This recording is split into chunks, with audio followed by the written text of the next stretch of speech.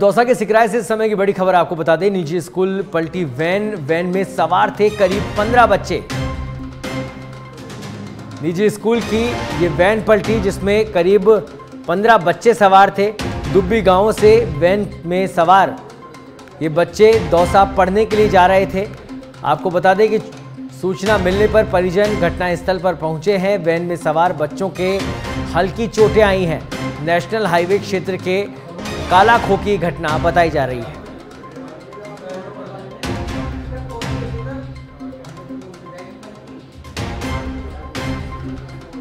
Van में सवार थे करीब पंद्रह बच्चे। इस वैन की तस्वीर आप देख सकते हैं। दुब्बी गाँव से वैन में सवार होकर ये दौसा पढ़ने जा रहे थे।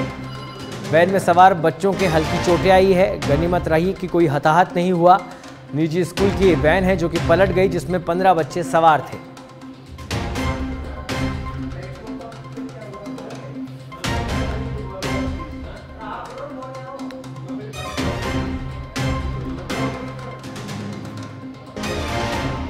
दौसा के सिकराय से समय की बड़ी खबर हम आपको बता रहे हैं, जहाँ निजी स्कूल की वैन पलटी। वैन में सवार थे करीब पंद्रह बच्चे।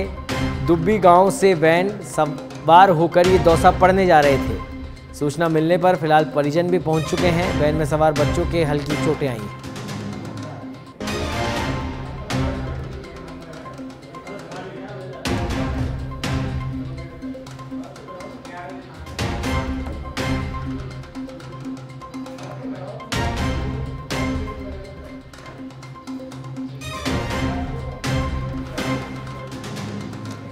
और इस खबर पर अधिक जानकारी के लिए हमारे साथ जुड़ गए हमारे संवाददाता पुष्पेंद्र मीणा। पुष्पेंद्र, निजी स्कूल वैन पलटी, जिसमें पंद्रह बच्चे सवार थे।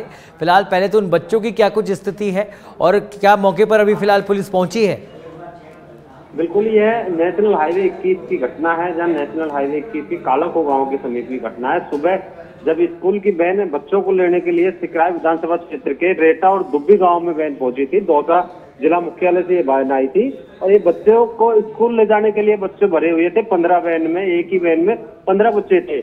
इनको ले जाते समय अनियंत्रित होकर ये डिवाइडर से वैन टकराई है और टकराने के बाद मामूली चोटें बच्चों की आई है। बच्चों को चोटें आने के बाद में जिला अस्पताल में भी पहुँचाया है लेकिन इसकी गंभीर स्थिति नहीं है। मामूली चोटें आई है। मौके पर परिजन भी बच्चों के पहुँचे थे और परिजनों ने अपने बच्चों को देखने के बाद राहत की सांस ली है। पुष्पेंद्र वैन वैन पलटने का कारण क्या सामने नज़र आया अभी फ़िलहाल? अभी पुलिस बता रही है कि अनियंत्रित होकर ये वैन पलटी है।